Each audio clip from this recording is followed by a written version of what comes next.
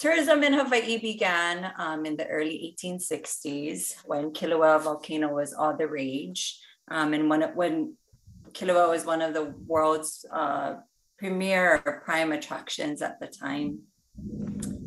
Um, in 1865, a little grass structure was created at the rim of the volcano um, and later became known as the Volcano House um, on the rim of Halemaumau crater. And it offered shelter to visitors and technically became known as Hawaii's first hotel. The visitor industry unfolded as the plantation era took place. And in 1901, it grew even more. Um, tourism became a promotion in Hawaii in 1903. And that year, about 2,000 visitors came to Hawaii. Throughout the years, tourism in Hawaii has grown and inflated. Uh, the vital resources our islands have to offer, traditional sites, resources, practices, and even our language has been exploited at the expense of tourism. Through the efforts of Native Hawaiian organizations and people, we are working to rewrite the script of how tourism should be in Hawaii. So mahalo for joining us today.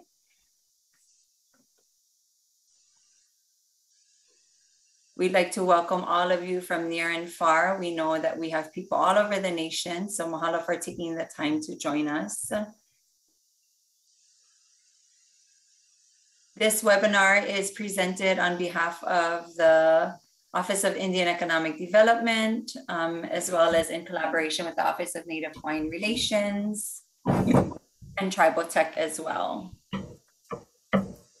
So a little bit of housekeeping rules. Uh, this webinar will be recorded. Everyone is going to be muted during the presentation. However, everyone does have access to the chat box. So if you have any questions you'd like to ask, um, go ahead and pop it in the box and it will be compiled and answered, asked and answered toward the, towards the end of the webinar. All slides and the recording will be made available to participants um, and a survey link will also be put up into the chat for everyone to complete. So if you can take a little bit of time after this and get that completed, we would greatly appreciate it.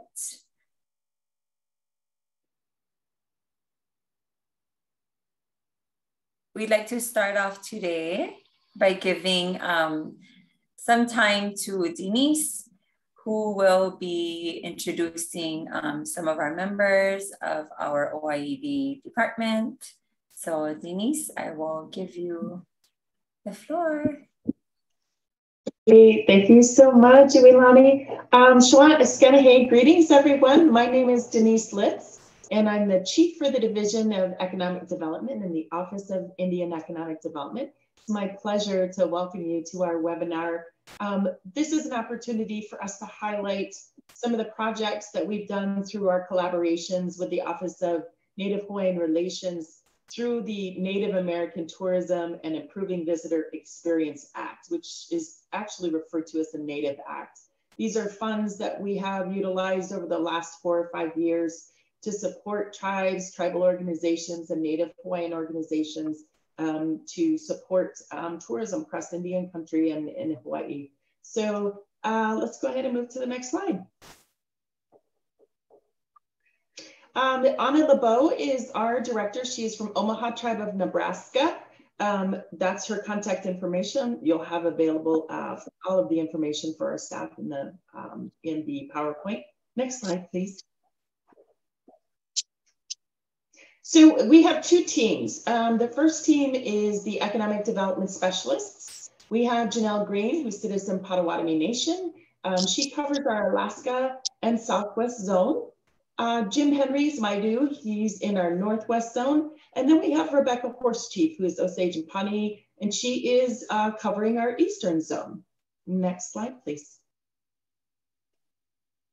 So uh, our other team is our grants management team. Um, this is led by Dennis Wilson, who's Taos Pueblo. He's our grant management specialist and supported and working with Elizabeth Callahan, who's from Choctaw Nation, and she is our program analyst. Uh, next slide, please. So part of the efforts and this webinar is supported by our training and technical assistance team. We have Dr. Priscilla Belize, project manager. Uilani Koryorkman is the TA coordinator. Uh, Dr. Kelly LaChance is also TA coordinator focused on native language specialists. And Freddie Gipp, who is also a TA coordinator and business development specialist. Uh, next slide, please.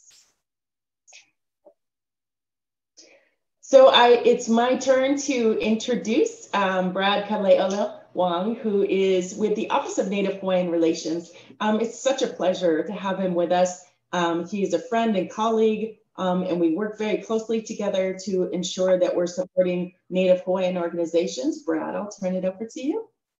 Awesome. Mahalo nui, Denise, and and uh, great to see you again. It's been a it's been a couple of months, so um, good to see you again. And uh, like she said, um, our, our office is is uh, within the Department of Interior as well, um, and we work closely with uh, the OIED um, uh, for this uh, HOIHIAC funding and and um, other issues as well. Um, our office is uh, based in Hawaii. We have um, three we have um, three staff here in Hawaii, myself, uh, Lisa uh, Oshiro Suganuma, and Stanton Enomoto, um, and then one um, uh, one person in DC, Ka'iini Kaloi.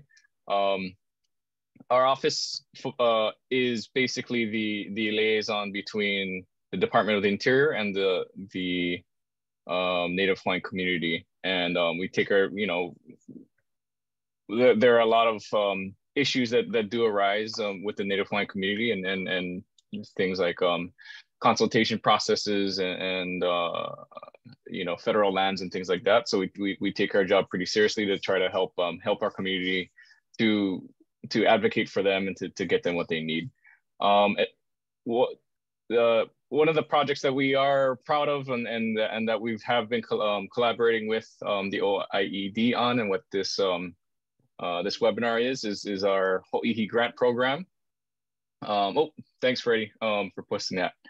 Um, and Ho'ihi, uh, for us, um, Ho'ihi means to, there's a there, there's an olelo no'eau or why saying it's a e hoihi aku e hoihi mai. So if you if you give respect, um, you you receive it back. Yeah.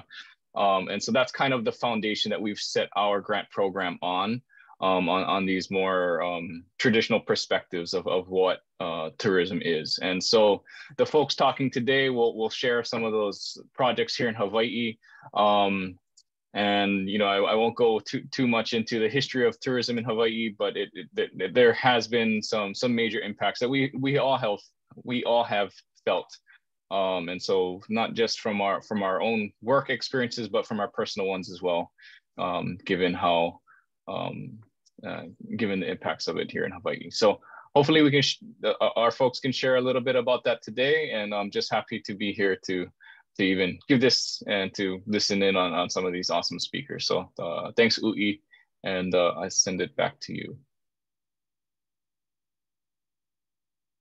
Yes, we are very excited to have our, our gang here. And I'd like to just share a little bit about the purpose of our webinar. Yes, the purpose is we want to showcase and highlight Hawaii and all of the wonderful things that our organization and our people have been doing when it comes to taking a wrangle on tourism and doing tourism our way.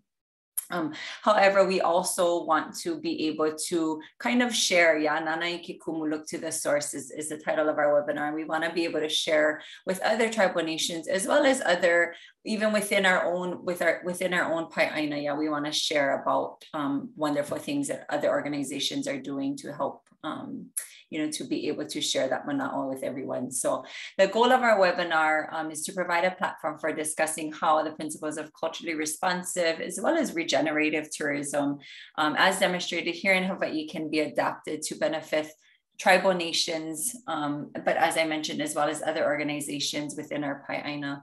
Through exploring these parallels, we aim to foster a deeper understanding of culturally sensitive tourism and its immense potential for enhancing community engagement sustainability, and socioeconomic growth within diverse tribal nations. Um, so just a little bit about why we're here today.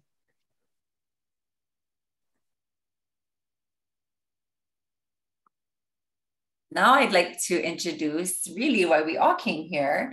Um, is to hear from our very wonderful panelists. Um, so we have, first we have Joylyn Paman. She's the executive director of two nonprofits. Um, one of them is Au Au Ona Loko I'au Maui, um, and they are devoted to revitalizing a native wine fish pond in Kihei, South Maui, and also the Kimokeo Foundation, which is dedicated to preserving Hawaiian language and culture through our children to the children um, of Hawaii. Darlene is a native Hawaiian herself, whose ohana has lived on Maui for generations.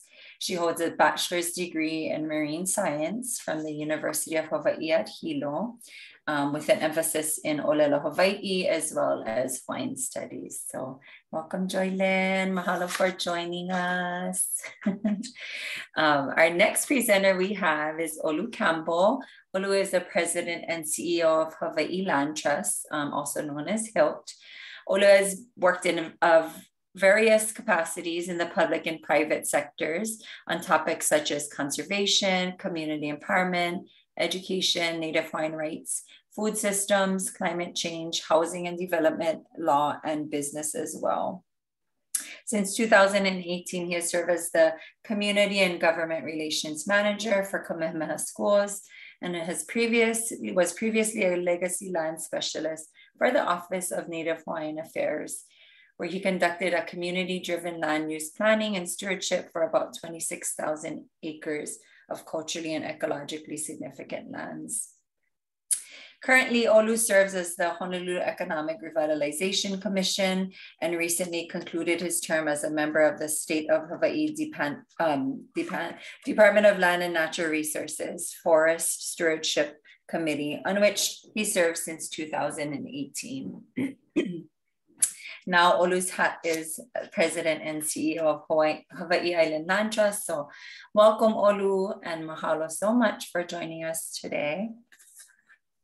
And lastly, we have Auntie Cindy Punihaole. Auntie Cindy is the director of the Kahalu'u Bay Education Center, um, which is a program within the Kohala Center on Hawaii Island. She has a 15 year history of successful community development and public education experience and oversees all programs and activities at Kahalu'u Bay Education, Education Center, including successful volunteer programs such as Reef Teach and Citizen Science. Reef Teach includes more than 400 volunteers and provides reef etiquette education at the Bay. Citizen Science engages volunteers to monitor the bay's health by collecting water quality samples and other environmental data. Auntie Cindy also initiated the first cauliflower flower coral spawning closure at Kahalu'u in 2018, um, a reef rejuvenation strategy that has continued since then. This successful project is embraced by the community and serves as a model for other bays around the island. In 2021, uh, State parks at Waialea Bay on Hawaii Island followed Kahalu'u's lead by commencing its first cauliflower closure coral closure days as well. So mahalo to all of you and welcome and thank you for joining us today. We are excited to hear your mana'o.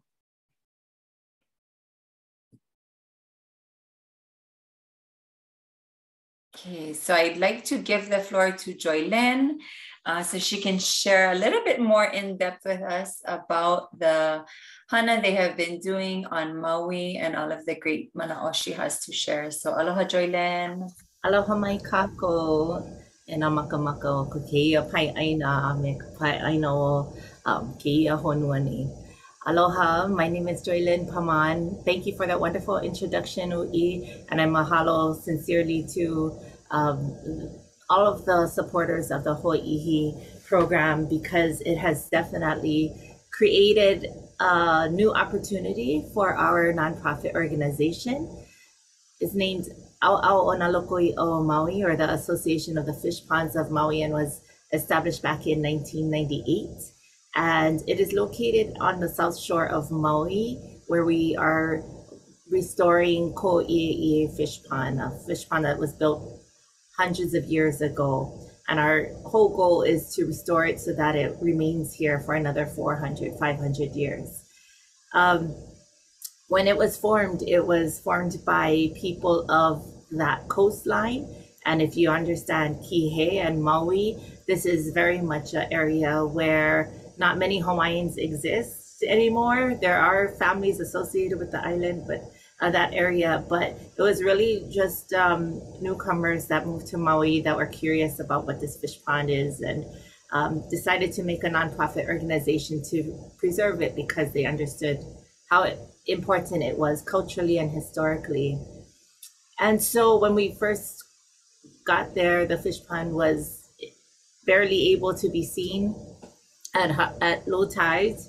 And um, throughout the many decades that I've been with it since 98, um, I've definitely seen it change. And one of the major changes that we've seen is that we have a lot of visitors that come to the um, site and they don't always understand that it is a cultural site. They think it's there for turtles, um, to see turtles or a nice shallow swimming spot.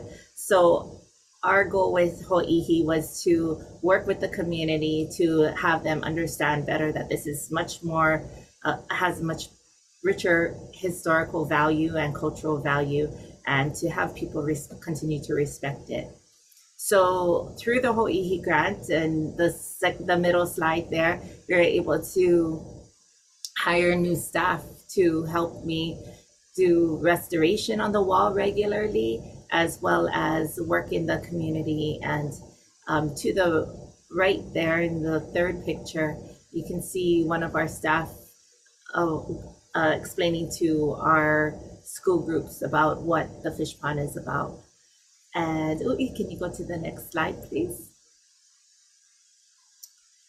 So on the left, this is one of the, the major impacts that Ho'ihi has helped us do is create a, a regular presence on the beach at Ko'i'e'ie Fish Pond, where our community and outreach staff uh, just hang out at the uh, on the shore of the fish pond, but then they're readily available and proactive in approaching tourists that come there and actually anyone who comes to the fish pond and uh, explain what exactly it's about.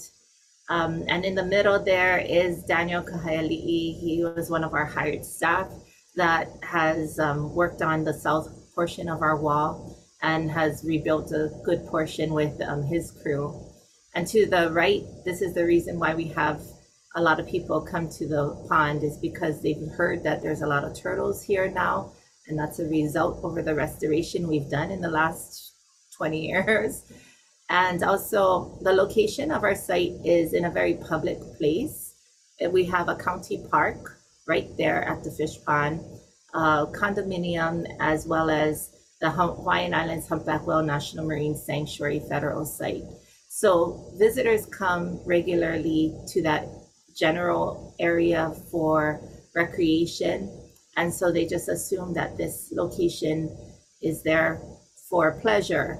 But through the whole Ho'ihi grant, we've been able to take that to another level and be able to um, educate our community that it's much more than that. And we also are able to host school groups and community organizations that learn more about fish ponds and um, help us restore the wall too. Mahalo nui.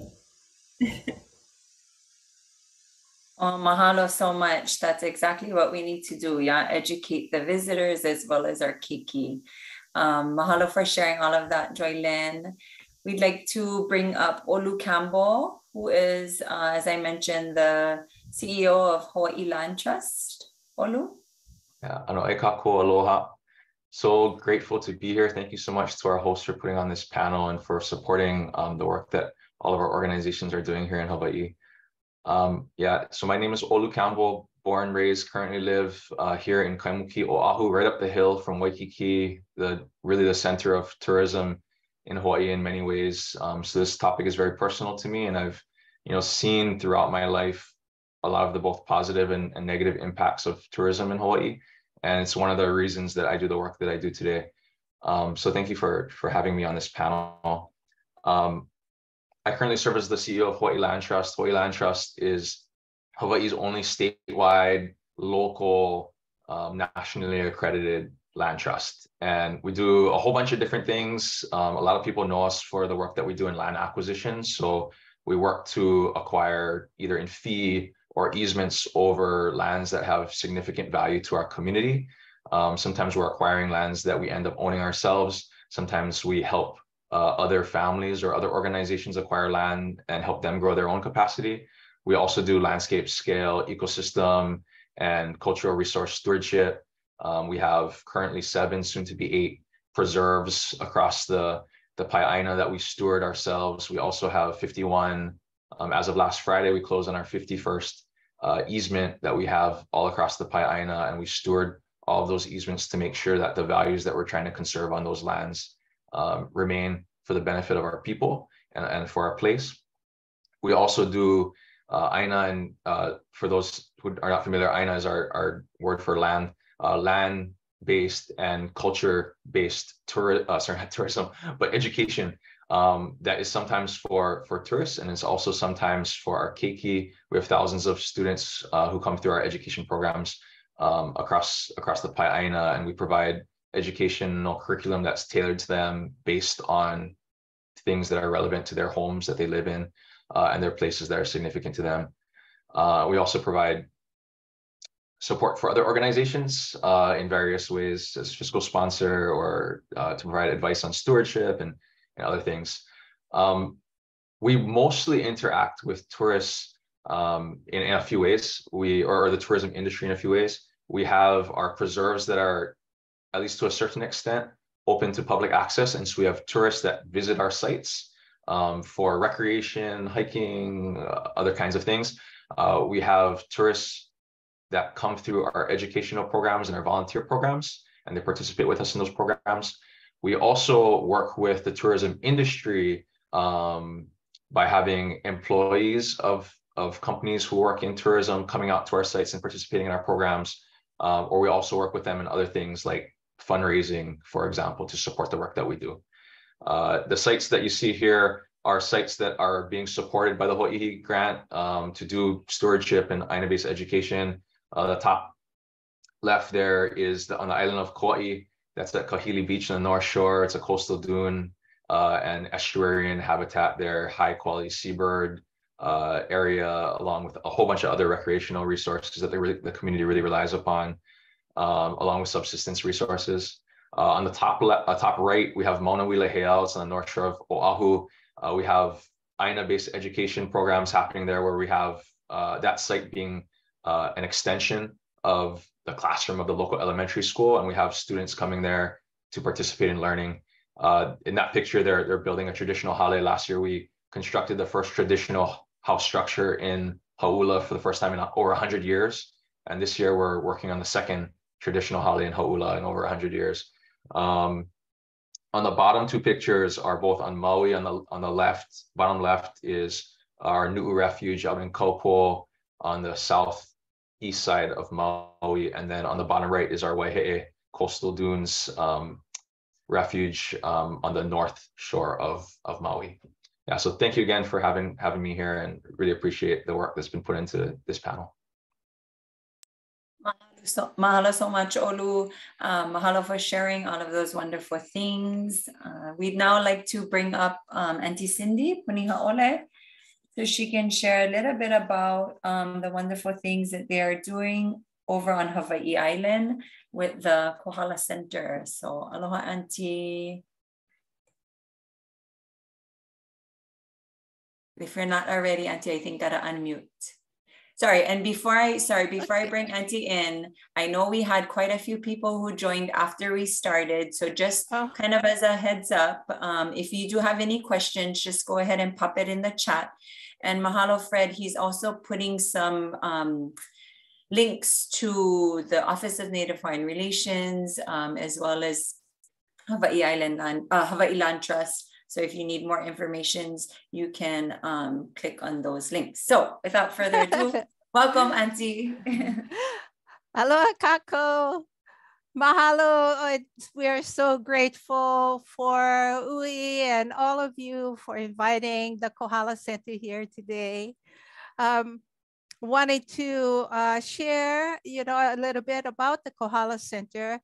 Uh, we are an independent community-based nonprofit focused on research, education, and aina stewardship for healthier ecosystems.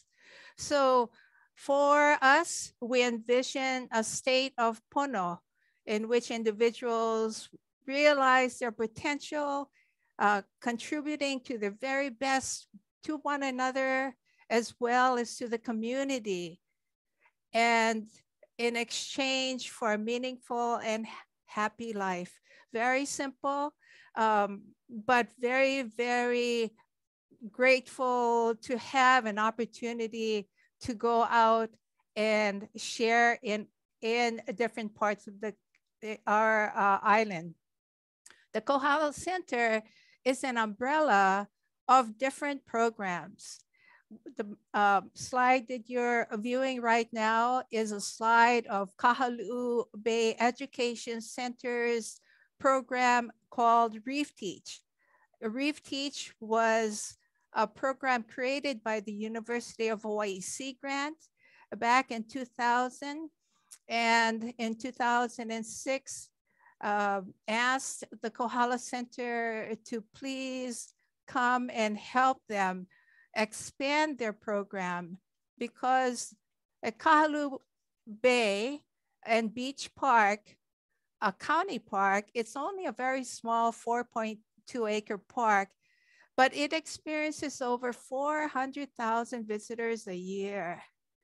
And so um, the visitors, and not that they were doing these things on purpose, but because they did know, they did not know any better, they would be harassing our wildlife, um, sitting on the turtles, flipping them over, seeing if they could um, re, uh, reflip themselves, chasing our uh, ear, all of these things. And so community, they were actually loving the bay to death.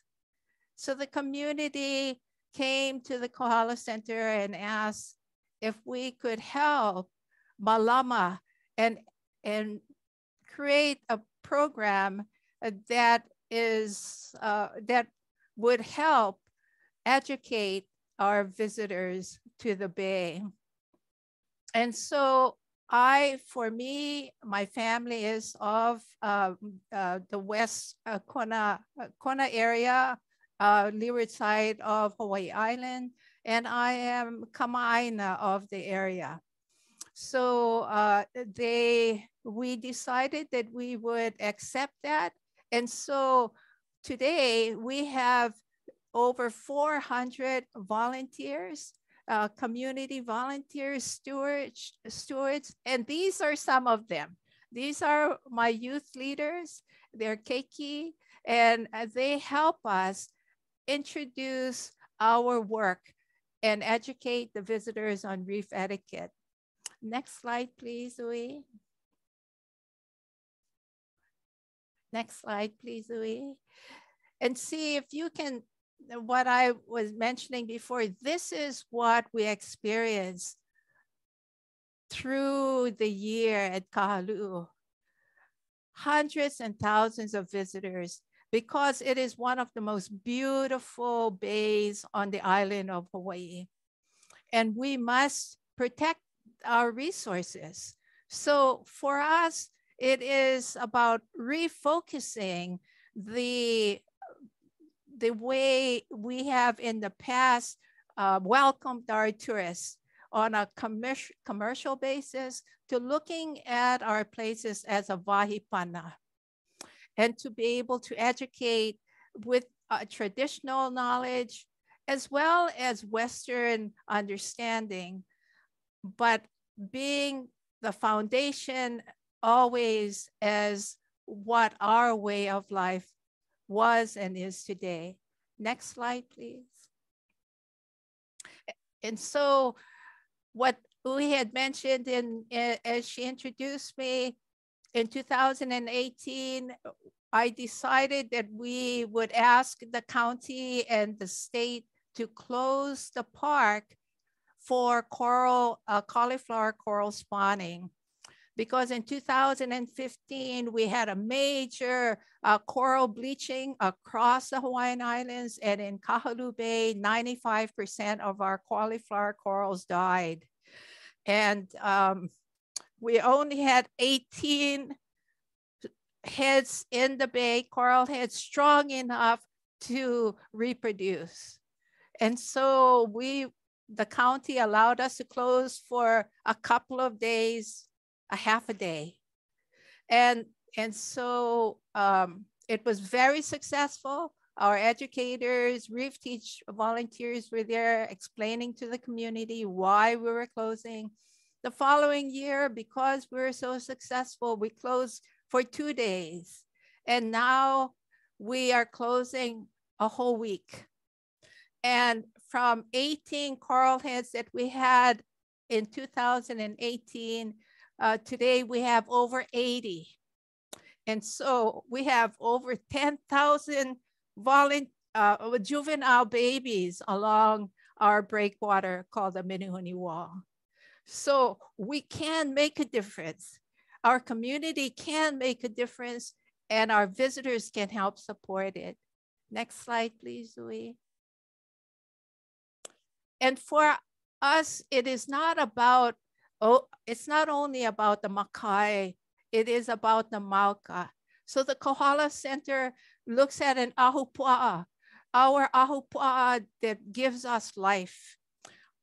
We say, ola ka'aina, ola ke kanaka, healthy land, healthy people. So we take care of the Mauka lands. This is our forest project, Kohala Stewardship Program, where our volunteers and our staff go out and malama. And next slide, I, uh, Ui, please. And this slide is our work at New Lee, where uh, Hala Grove was neglected for years and years, and now we have um, restored it and, and cleaned it where kupuna can now go in and, and reap the benefits of it. And so today, what we have is our uh, communities then learning again from our kupuna how to engage with this beautiful grove, Hala Grove, and the beautiful products that we can share and teach our young ones. So mahalo, Ui, for letting me share. Mahalo so much, Auntie. Um, and we can tell that you are so passionate about what you do. And so we're so very grateful to all three of you. Um, as everyone, I, I think, on this panel, as well as that's taking part of this webinar, knows nonprofit work is not easy. Um, financially not the most rewarding. However, in your pu'uwai, it is it is the one thing that you know within your na'au it makes you so so grateful, yeah, to do the things that you do. And so we mahalo you for all of the wonderful things you folks are doing across our Pai'aina, across our, our islands, across Hawaii. Um, and mahalo for all of the mana'o that you have shared. And now we'd like to just get right into it. And so we are going to be asking three uh, question sets and we will just kind of do a round robin. Um, I'll call on each of you to share. Um, so let's just jump right into it. So the first question set uh, that we'd like to ask is what are some key principles of culturally responsive tourism that have proven effective uh, for you folks and what you've seen here in Hawaii? And also how can these principles be adapted to suit the unique needs and cultures of various tribal nations across different regions? So let's go ahead and start with Olu on this one, if you don't mind. Yeah, you know, um, I really like the word choice in this question. Um, and I think it, it really speaks to the principle itself. Um, there's, a, there's a lot of ways you could frame this culturally sensitive, you know, culturally responsible, but you chose culturally responsive. And I think that's a very important principle that has helped um, push the needle in Hawaii towards a better system of tourism. Um, responsive, you know, it, it requires action, right? And so I think just thinking of one principle is the the tourist the tourism industry is a system, and when you're looking at a systemic uh, kind of issue, you got to have a systemic solution. And so when I think of how do you respond, how you culturally respond to tourism, it needs to be as a systems approach. Um, so maybe that's just one principle that, that, that comes to mind. Um, and when, when I say systems approach, I mean you have to you cannot you cannot just have culturally responsible people or culturally knowledgeable people working on one piece of the industry like entertainment. It, it that does not push the needle towards a better tourism system for our native communities. Um, you need those culturally knowledgeable and culturally responsible and the native people to be at every single part of the system from the people who are investing in the system financially from the people who are making decisions at the highest levels of the companies who are involved in the industry for the people who are working in the industry to the people who are doing marketing for the industry there needs to be that level of engagement in order for you to really have uh, a system that's beneficial to native people um, I, I, just to be very clear, I do not think Hawaii's tourism system is there yet, but I think we've been pushing the envelope to really advance this type of approach, and it has created some some positive progress. Um, the other thing that comes to mind when I think of principles is maybe just going back to something that the Auntie Cindy said a little earlier, and that's you know there's um, the connection between our people and our place is so important. And so in the work that Hawaii Land Trust does, we recognize that, you know, healthy lands, healthy people. And just to elaborate on what was said a little bit earlier, it comes down to that relationship. And it's really, it's really a relationship that we try to build in all of our work because you can talk about concepts like, you know, be more culturally authentic or be more culturally appropriate. Um, but those, all those kind of things, they stem from an from a core understanding, uh, and that understanding needs to be based upon our relationship. So when our people who are working in the tourism industry, for example, um, have a strong relationship with our place and our community, and they develop a value system uh, that values community and that values our place, then when they're working in the industry, they're going to be making decisions based upon that value system. And again, that's a systemic approach, and it's founded upon a strong relationship between our community and the places that are most meaningful to us. Um, and I'll just I'll just leave it there, and I'll, I'll let the next panelist talk.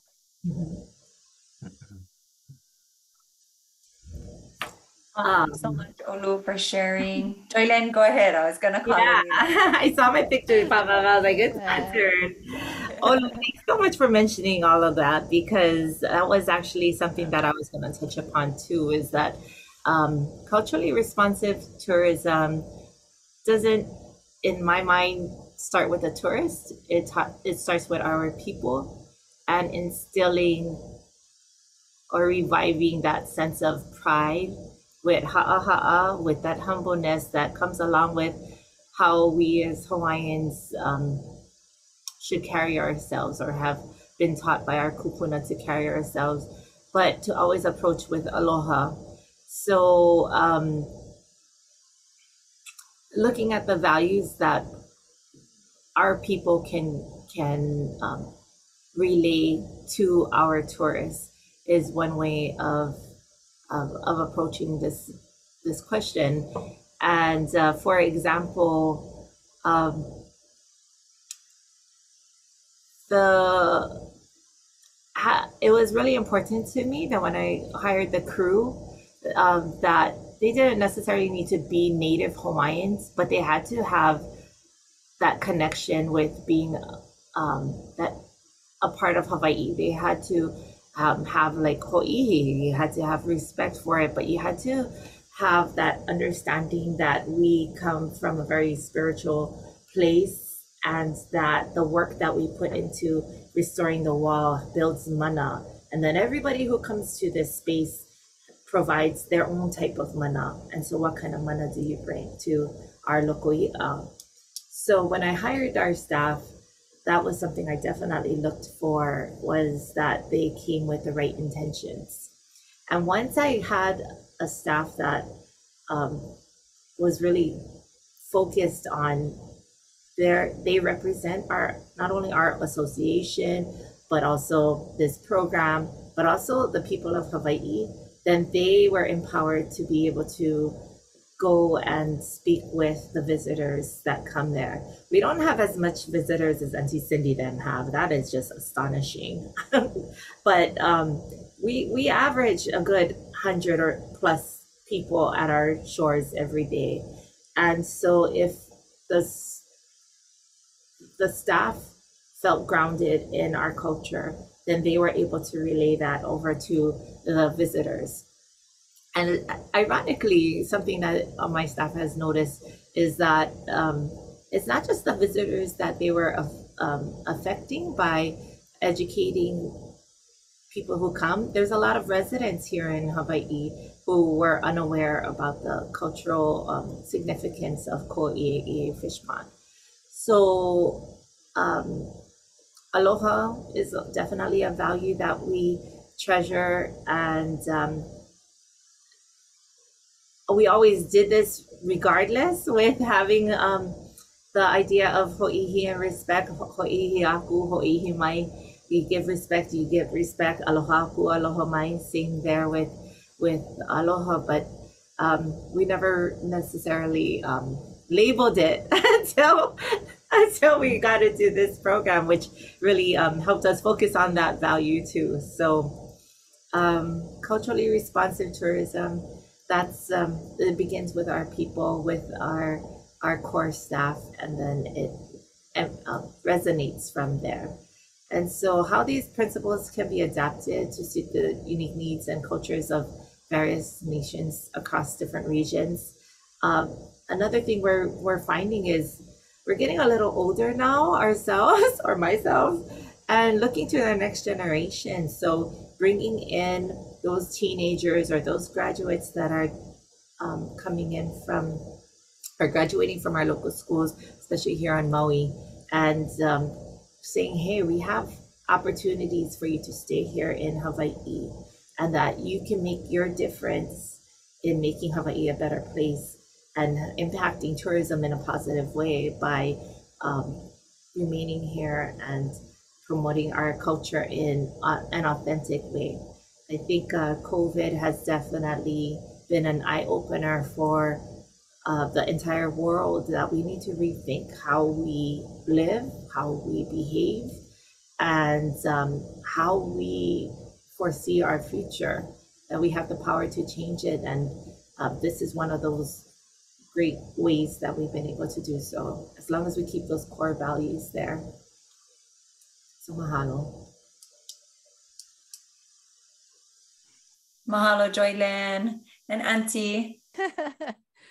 well, you know, I I just love the Olu and Joylyn's uh, comments because relationships and uh, uh, uh, working with community they're they're so very important and uh, the passion you know what Joylyn said uh, it doesn't always have to be Hawaiian the passion of taking care of place, malama, is part of it's inside your na'au, and that is really important.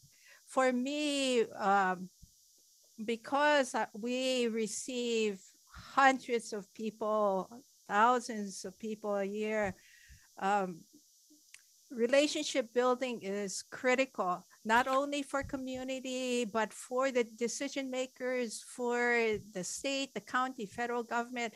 And throughout my years at uh, Kahaluu, that was one of my goals is to create deep uh, uh, relationships with respect and trust and integrity.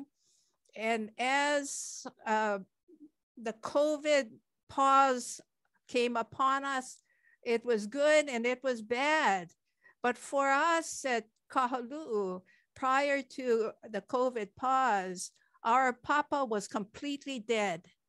everyone coming to the INS stepped on it, killed everything. You couldn't see one, one limu growing there uh, or algae. And so uh, we talked for almost nine months about how we're going to uh, um, engage the visitor when they come. And our foundation has always been if we engage and educate the visitor with aloha so they become part of the solution was really, really important.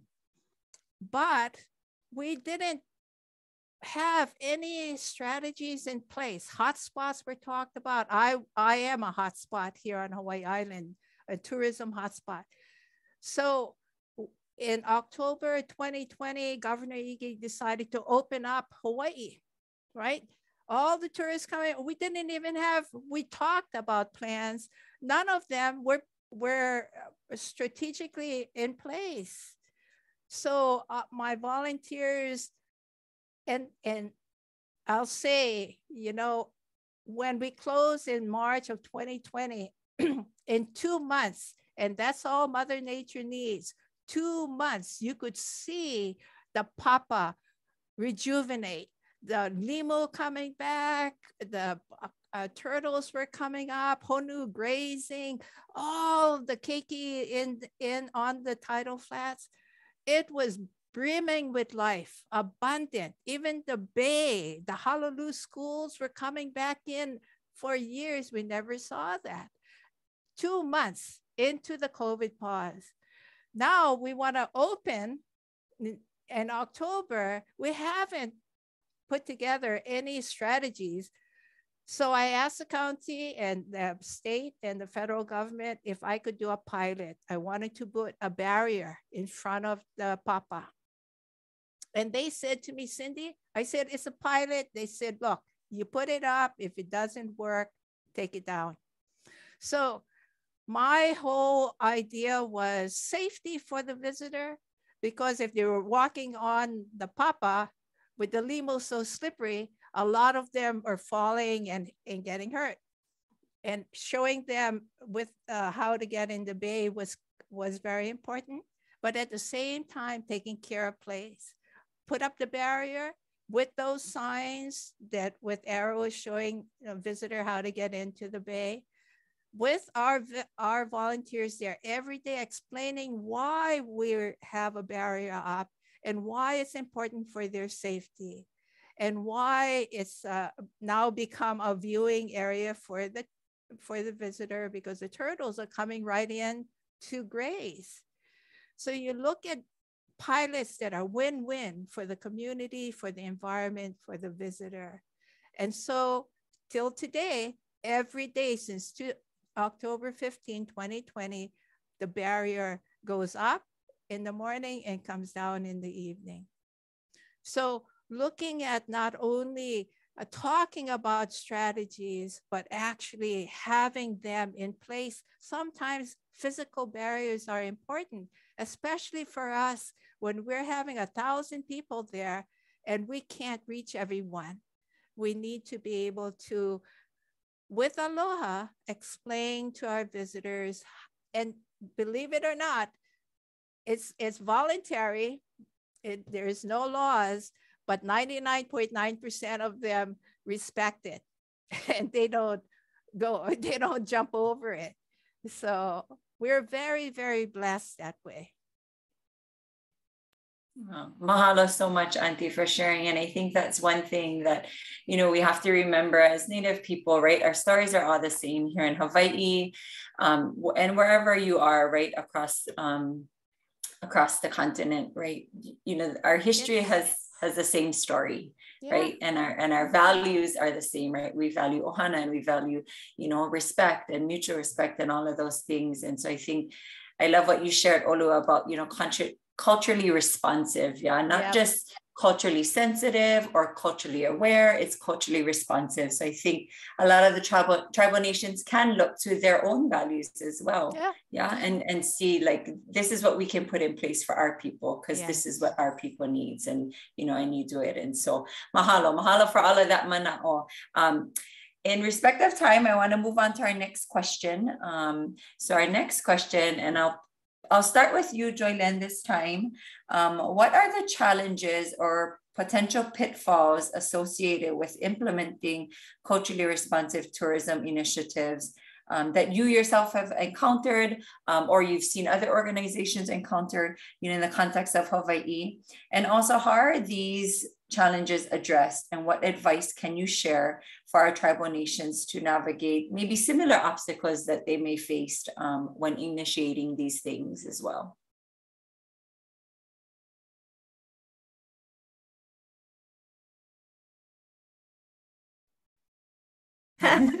I can speak for our site that because of the location, it has traditionally, when I'm and I'm speaking for the last 30 years, 40 years, been a place of recreation.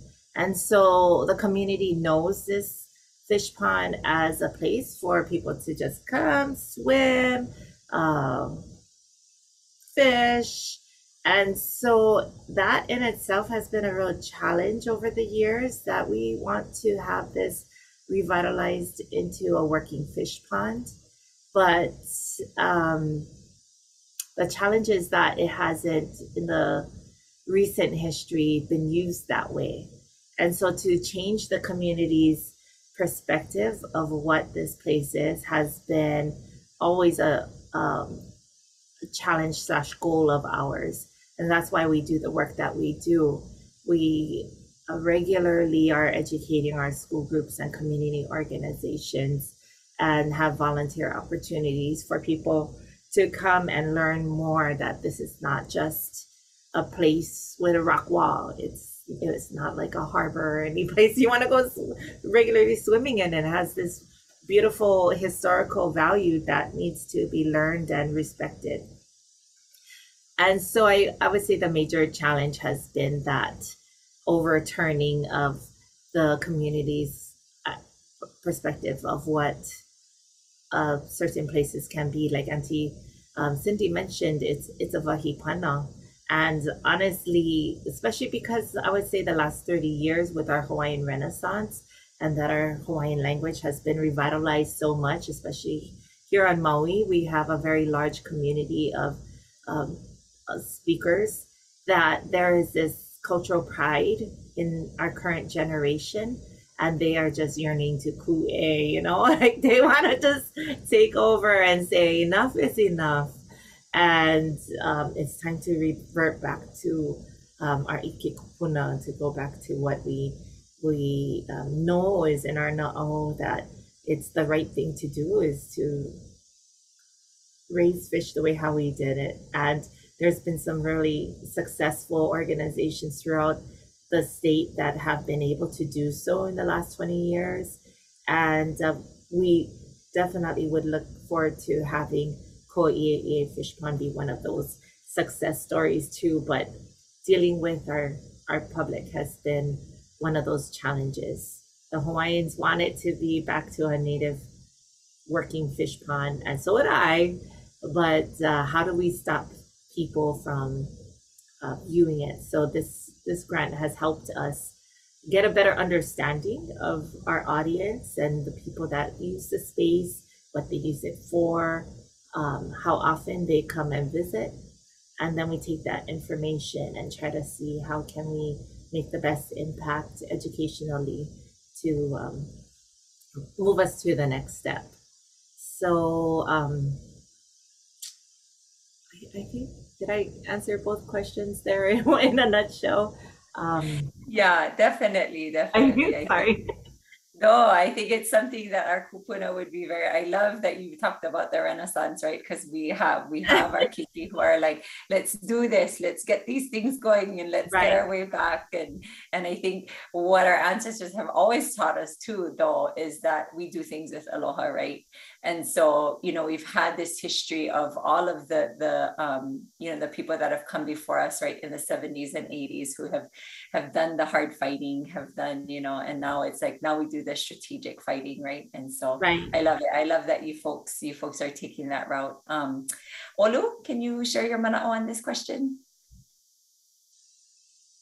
yeah, I'd love to. Um, a few things come to mind. One, and this is going to sound repetitive with what I said earlier, but it's a challenge to implement culturally responsive tourism when the decision makers in the tourism industry don't have an understanding of of our culture and our community, uh, which is a very common practice because a lot of the you know a lot of the businesses operating tour uh, in tourism in Hawaii are foreign companies, um, and their and their leaders are not from here.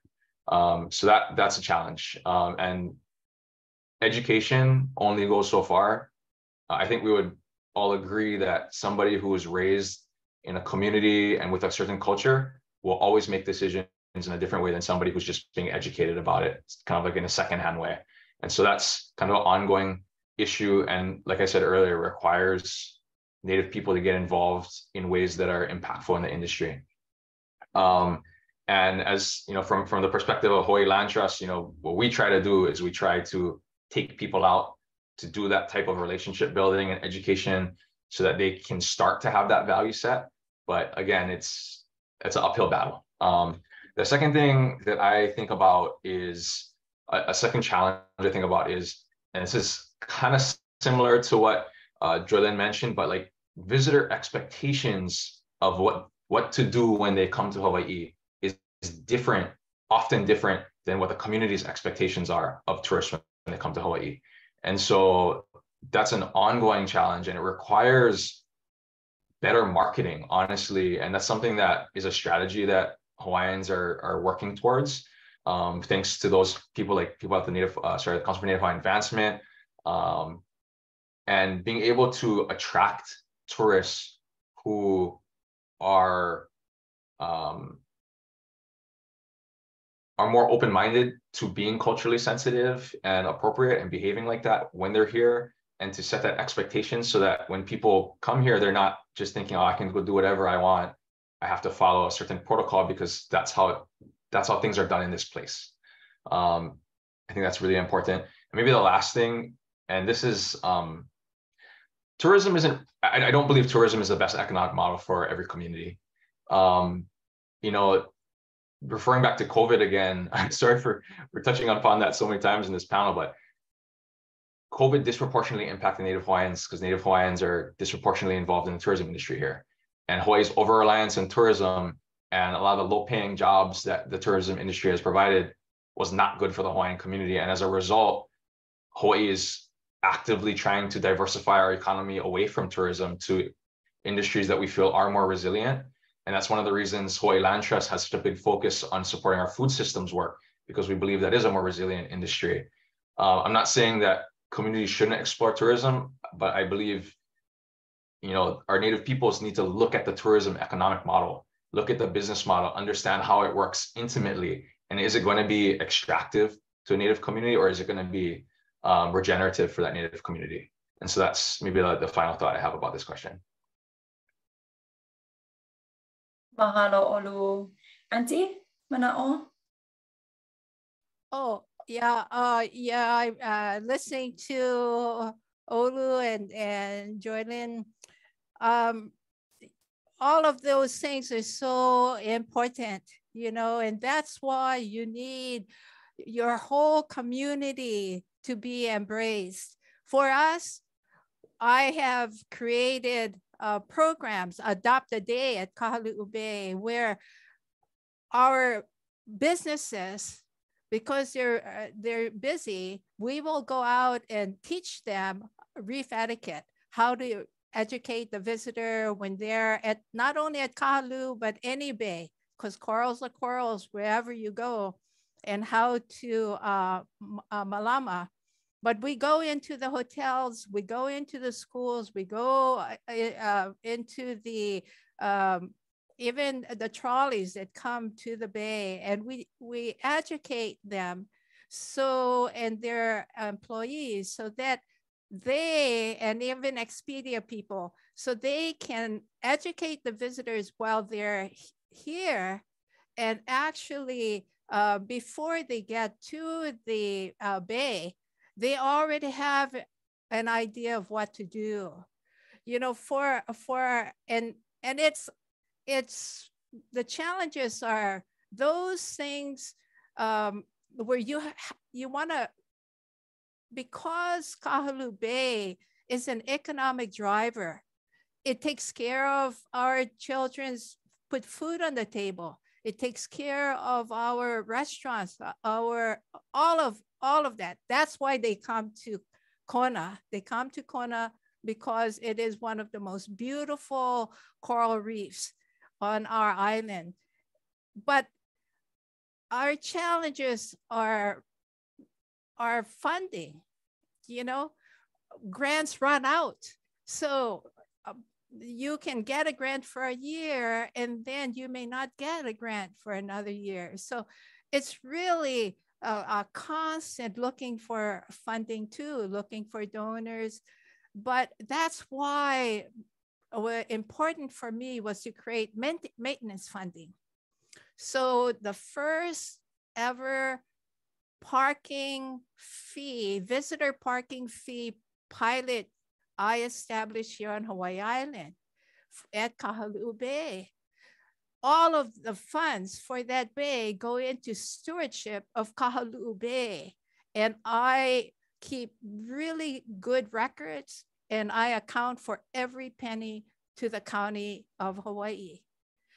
But that monies take care of my program so that we can continue without thinking, oh God, am I, will I be able to uh, pay our staff next month?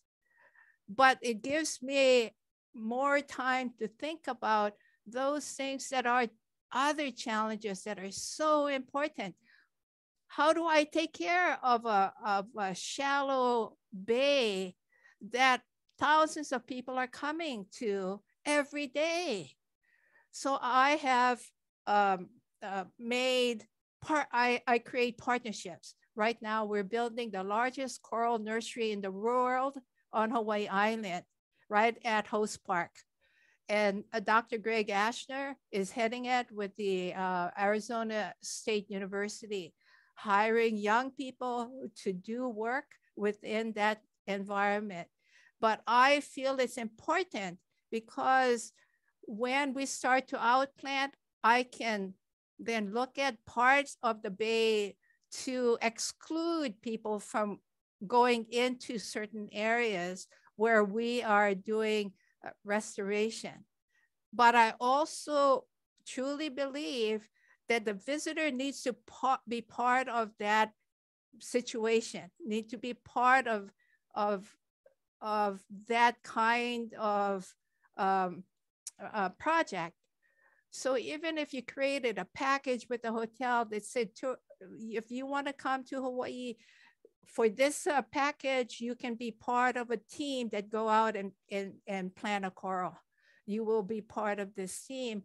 But I think we need to, we need to think about these, these projects as we start to transition into sustainability. I see all these ungulates all over and there and and we should be looking at uh, programs and projects that can uh, can maintain them so we balance out the feral pigs and the and the goats that uh, that are there and, and, and start feeding our people. We need to do those things too.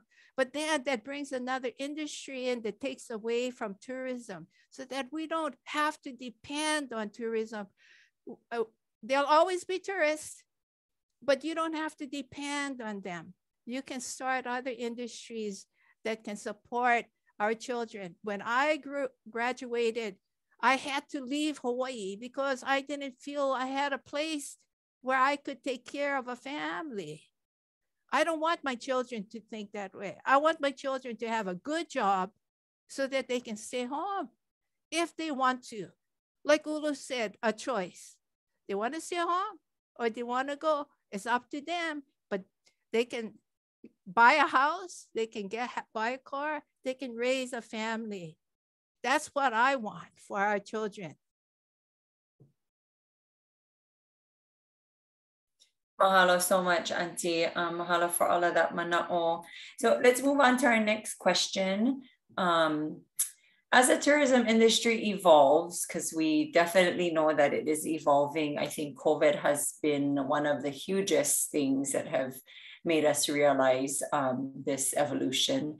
Um, and as travel patterns change, how do you envision the future of culturally sensitive and responsive tourism uh, for both Native Hawaiians and tribal communities?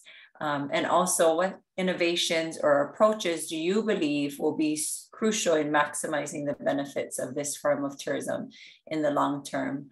Um, Olu, if we can start with you. Yeah, can do. Um, I think, and this is this kind of maybe goes back to something I said earlier, but I think the history of tourism in Native communities hasn't been the most positive one. And I think going forward, our communities will kind of continue to reassess the value that tourism has um, to support the well-being of our people. Um, where tourism does continue, I would foresee that more engagement from Native people in important roles in the industry will drive the industry towards more culturally minded and culturally um, responsive tourism. At least that that would be my hope. Um, and, and, and I think with that, I would hope that there's more community benefit coming out of the industry that operates in that uh, in that manner. I'm thinking about the, the second part of the question about innovations that maximize the benefit. And what comes to my mind is, and this is an idea that's not unique to tourism, and it's something that here in Hawaii, Hawaiians are really trying to do across the, the spectrum of industry. And um, and it's the it's the idea that culture can't be just a topping.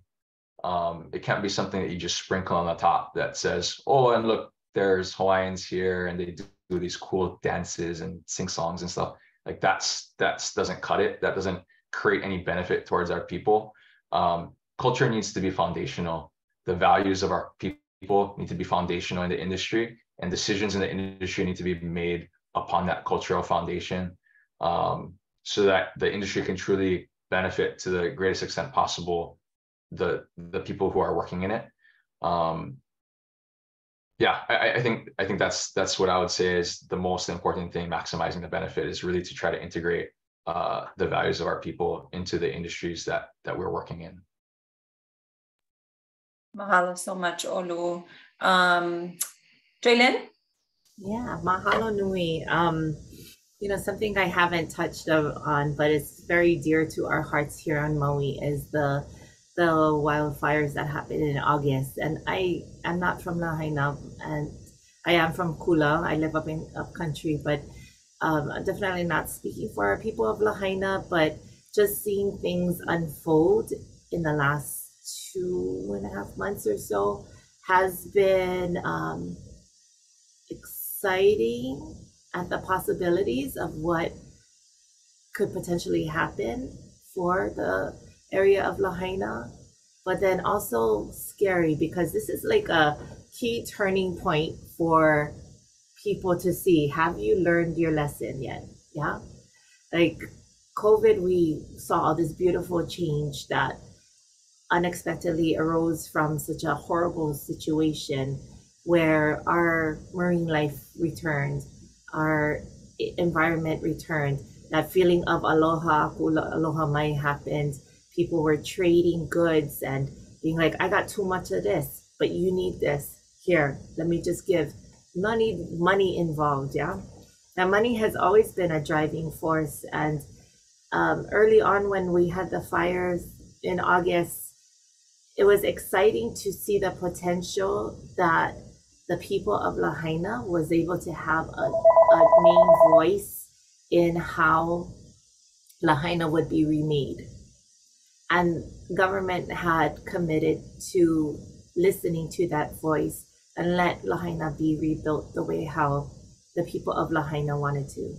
Yes, there's definitely the Native Hawaiian groups there, but there's also the Filipinos, there's also the Japanese, there's also, it's such a multicultural melting pot within just a few square miles that all these people have their idea of we've experienced Lahaina as a major tourism industry However, how do we move into a way that the people want to rebuild Lahaina to still support tourism, but is tourism going to be the main attraction?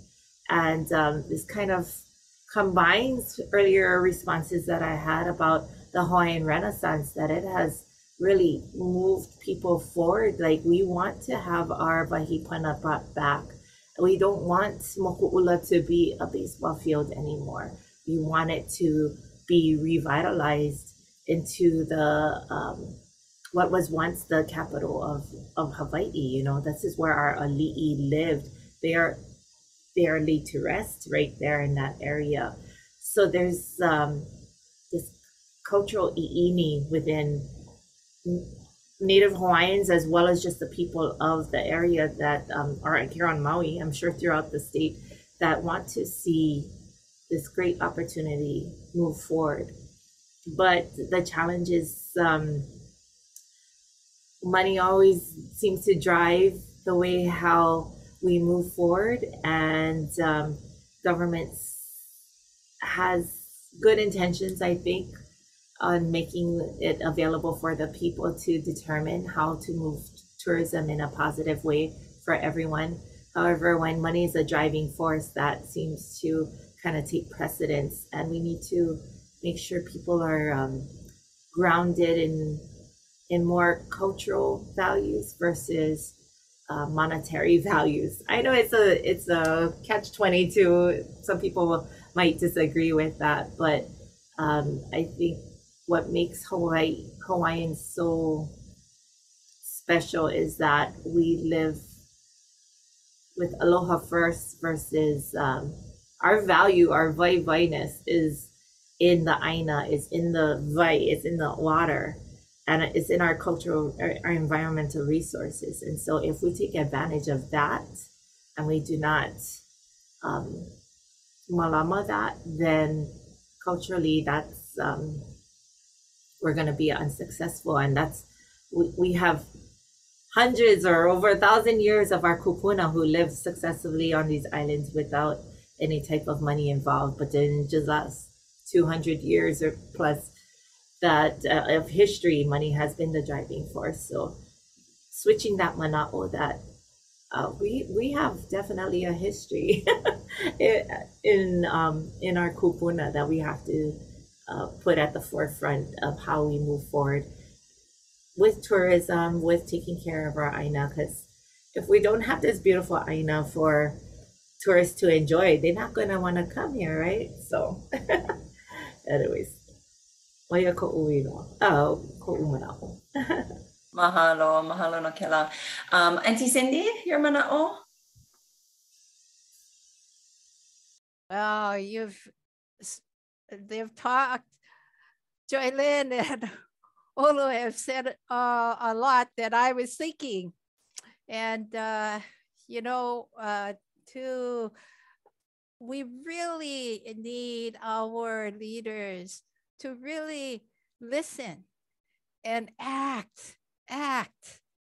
You know, um, we need to really look at carrying capacity and and really really understand what it means for a place you can't have a thousand people every day every day coming to a small place it just won't work but it's hard uh, uh you know relate we have great relationships i, I i'm very uh, grateful for the relationships we've built with our state and our um, county. Uh, but it seems that uh, it takes so long for decisions to be made, years and years. Our, even our wastewater systems that are killing our aina, uh, our, our corals, uh, our, we, it's been, I've been working on this uh, problem over 30 years now and still uh, kicking the can down the road. We can't shame on us if we leave these problems for our children, especially when we know what to do today. You know, 10 years from now, it's going to cost a billion dollars for them to fix it. But yet we talk about today, oh, it's a million dollars. It's going to cost us millions. We can't think like that. We have to just stand up and and act. And and we need everyone. We need everyone to work together. Uh, we need to educate our visitors. We need our traditional knowledge to be uh, a forefront, you know, honoring our past so we enrich our future. We need these things. They're not just words, they're really embedded in us, it's innate, and passing it on to our children. We're so glad. Yesterday, I was doing oral history with with uh, some of our young ones at University of Hawaii, and I'm so grateful that these young ones understand that we're passing the torch to them, and they are looking at balance, at pono, truly understanding what pono is, a harmony and balance for the Aina, for the people, and for everyone that we touch. You know, I truly, truly um, um, um, I, I think as we move forward, we and, and John DeFries did this, and I saw everything going on in the legislature. But I know what he was trying to do. And it is to build the sense of pono, to, to build a sense of understanding our culture and taking care and malama, a sense of place, and refocusing this shift of recreational tourism to ecological understanding in a cultural a sensitive way. But we need to we need to continue to do this. Talk is cheap. We're at a tipping point now. We don't do things, it's going to be too late. We need to do things now. But I'm very grateful that we all can come together because I think for tribal nations, for us, we're all tribal. We all live off the land. You know, we all love our lands. They give us life. You know, my dad and I used to go holo holo all the time. He we go we go through a net. And he would always say, You treat the Aina like your sweetheart, then it will always take care of you. Always. And you do, and all I ask of you, baby, is to do your very best. And that's what we need to do. Our very best for our keiki not just talk about our very best, but do our very best. Mahalo. Mahalo so much, Auntie, and, and that brings so much um, awareness to to you know exactly what it is, right? Like you know, rewriting the script, yeah, rewriting our history, um, because we know as Native Hawaiians and also, you know, our, our, tribal nations, they know, right? We haven't always, as Indigenous people, we haven't always been treated um, how we deserved and the best that we should be. Our Aina hasn't always been treated that way. And so, you know, mahalo for all of the mana'o you folks have shared, because yes, it is building those relationships with the people who have that power, right? And have the things to do. It is the money, it is, you know, but I think just always remembering that we are deserve this as indigenous people, we deserve all of these things. Yeah. And our Aina deserves it, our Keiki deserve it, our, our our, our uh, future deserves it. Yeah. And so I think having the right people in there, um, people like you is, is, you know, all of you for doing the things that you do. We're, we're definitely holomuing and moving forward into the, direct, the right direction. Um, so mahalo for all of that mana'o. Um, we did have a couple of questions that came up. Um, I'm scrolling through here. And one of the questions um, that came up uh, talked about having um, sorry There was a question that came up about, you know, how or where do you start to teach tourists how to be culturally sensitive? Um, any one of our panelists want to take a shot at that?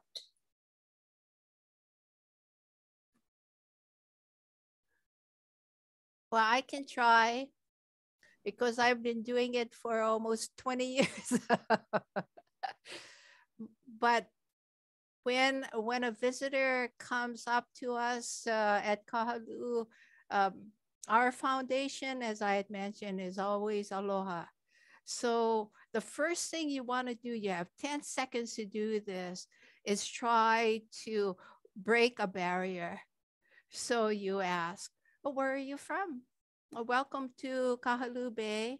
And so you break down that barrier and then you talk story with them, not tell them what to do, not, uh, but, but talk about the place.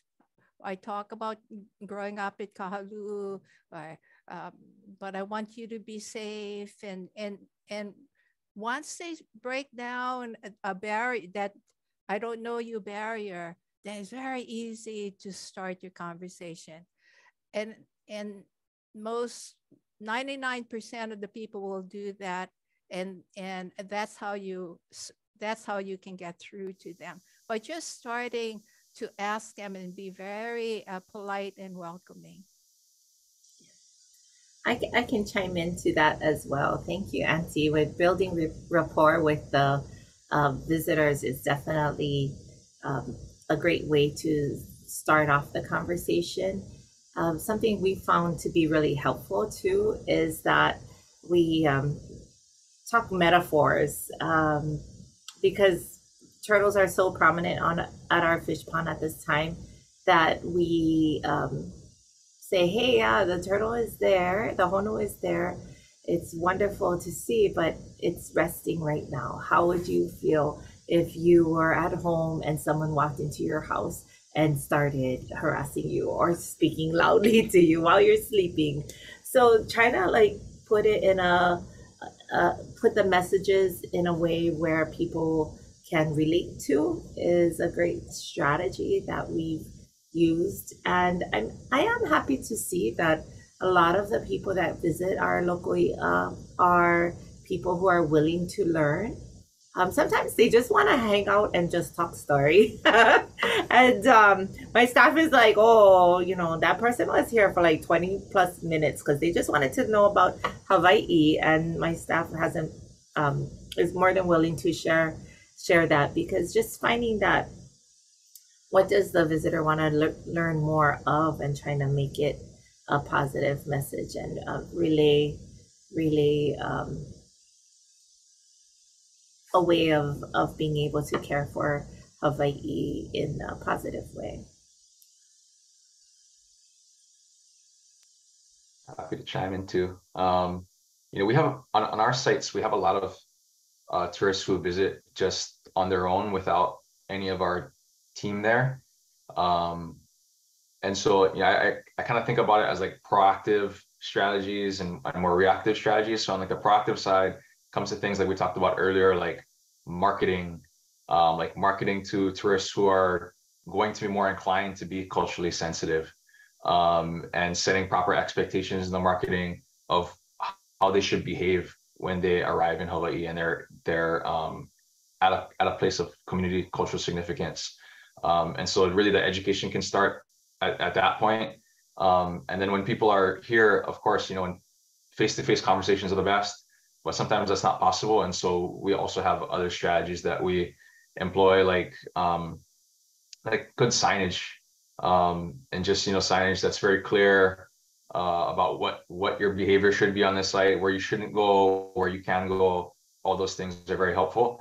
And you know, this is a maybe this is a proactive strategy. So maybe I should have said it earlier. But you know, one other thing that is really important is knowing what being able to control to the greatest extent possible what information is being shared. So like we have certain sites on the aina that we take care of that we intentionally try to avoid any publicity on because we don't want people to come there who don't have a connection to that place. And so being able to be very thoughtful about how you're even like as we market our, ourselves like to donors and and community partners we're very intentional about the way that we do that because we know whatever information goes out into the public can go anywhere. Uh, and so we're very careful about the type of information that we share to make sure that we're not attracting attention to places that we don't want people to go to. Can i add one more one more quick strategy too is um, is partnerships because uh, at our particular site, the Humpback Whale Sanctuary is right there. They get a, have a visitor center, and a lot of people come in regularly to um, learn about the whale sanctuary, but then they also help educate about the fish ponds. So it's about um, making sure you and your partners have the the same messages that you guys are all on the same page, sharing the same information with the public, because then um, more more organizations out there sharing the information will help benefit in the long run and and to Cindy's project and as well as Olu's because I through another nonprofit I'm partner with them too but um, partnerships really help out with spreading your message and multiplying it. Think that also sends a message of like we are, you know, huing together, we're doing this, right? As a lahui, we're coming together and we're doing the things that we need to do. And and so mahalo, mahalo for sharing that, Mana'o. Um, a couple of other questions that came up. Um, ANA funding. Uh, yes, Hawaii is very blessed to have an outstanding ANA team. Um, they put on wonderful uh, trainings and and you know all of those things. And I think having such a great ANA support team, um, TA team has also been part of the reasons why we've different organizations throughout Hawaii have gotten um, ANA grants. And at one point we were kind of, um, our region was getting a little bit more than the other regions and, and it did get noticed and talked about. So we're very, very blessed to have an amazing ANA team, a TA team here. Um, and then to answer your question, Ty, um, I asked about partnering through airlines, um, you know, to sending out information, do's and don'ts. And, and we have, Hawaiian Airlines has um, stepped up their game and they have put out informational videos on all of their flights coming into Hawaii and going out of Hawaii. Um, and so that's helped, I think, partnering with other airlines also would be would be key um, you know but then again it goes into that whole discussion of of you know also them wanting to to do that partnership and wanting to share that that mana'o with the visitors as well yeah. So yes we are very blessed to also have that um, partnership with Hawaiian Airlines um, and sharing our visitor information. And they and I'm so proud of the videos that they put on um, primarily because they feature um, a lot of the videos do feature Native Hawaiian practitioners and uh, people that are kama'aina to um, to the to the wahi pana that they're speaking upon. Yeah. Um, we were one of the organizations featured in those videos. Yeah, I saw you guys. I saw you guys. Uh, Keikaiola is too, our uh, uh, uh, Monk's Hill Hospital here on Hawaii Island. Yeah. Very good. yeah, good. so they do, yeah, they do a great job. Um, they do have some DLNR videos on there. Um, yeah. yeah, and a lot of things. Um, so, uh, well, I just want to say mahalo to everyone for joining us today. Um, before we, we head off, I'd like to just kind of share, as Olu mentioned, we do have so many great organizations doing great things. Uh, the partnerships are so crucial and so important uh, for us to hold on to go forward. And I think that's definitely something that tribal nations can look look at um, as an example as well. Is that Hawaii is very very small or very tight knit, even though we are, you know, separated um, by our kai throughout the different islands. That doesn't stop us from huing together and working together. And so I just wanted to highlight real briefly um, on some of the other organizations that are, that are doing great things. Um, we do have Council for Native Hawaiian Advancement. They also are putting on um, uh, I think they're doing like a conference, uh, which I believe starts tomorrow, um, and they're touching on tourism as well. Um, a Native Hawaiian Hospitality Association, NAHA, who is also one of our, who was also one of our Huihi grantees, Hana Arts, Holani Hana, both in Hana Maui, uh, Waimea Hawaiian Homesteaders Association, Hi'ipaka LLC, which is also known um, more, I guess, as Waimea Valley, um, and Hanalei River Heritage Foundation, um, who I believe is on now, who logged on for our, Camelo logged on for our webinar. So they're doing great things too here on Kauai, my home island. Um, and also Hui Maka'inana o Makana uh, in partnership with the Hanalei Initiative. And these guys, um, my gosh, they have done wonderful work out in Ha'ena, Kauai.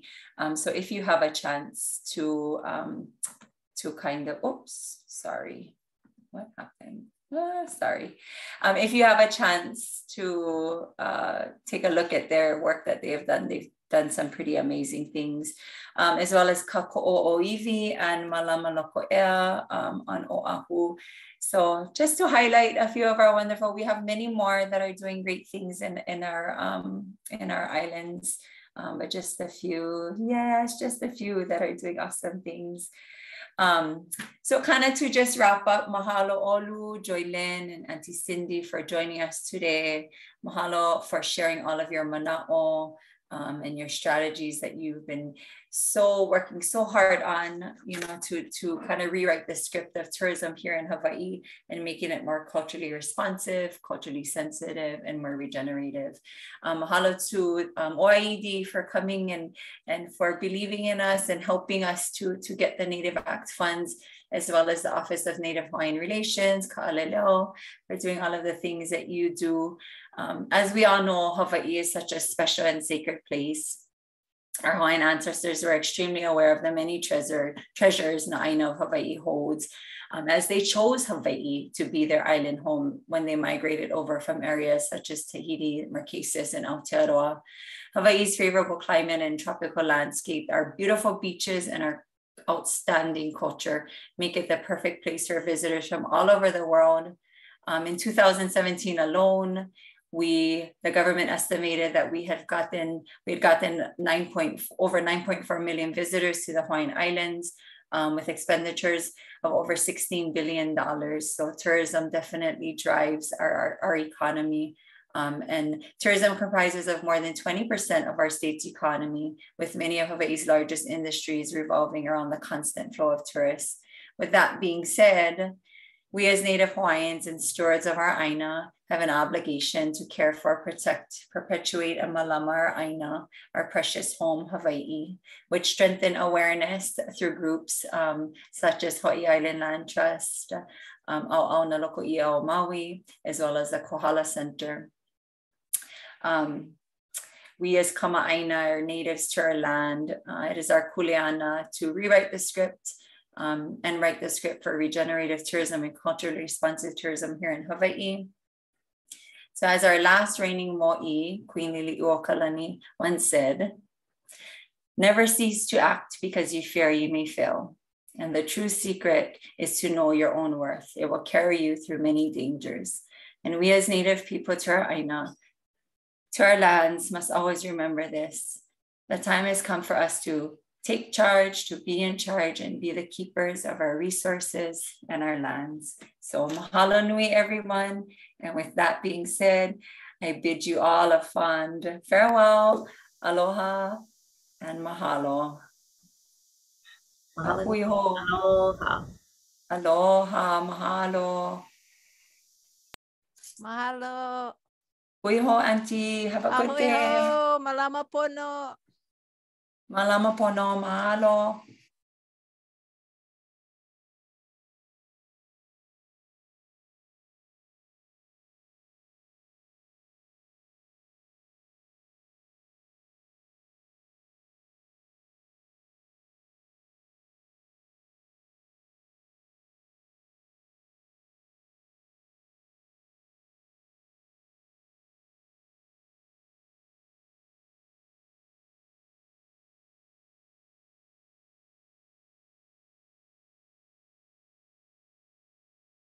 All of you joining us. Mahalo for that. Um, just trying to figure out. Okay.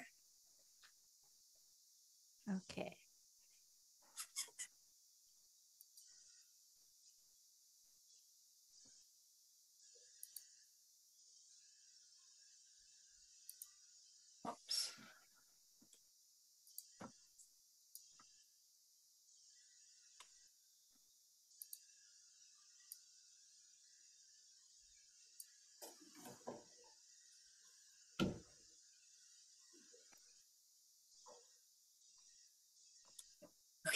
Thank you so much. Okay, um, so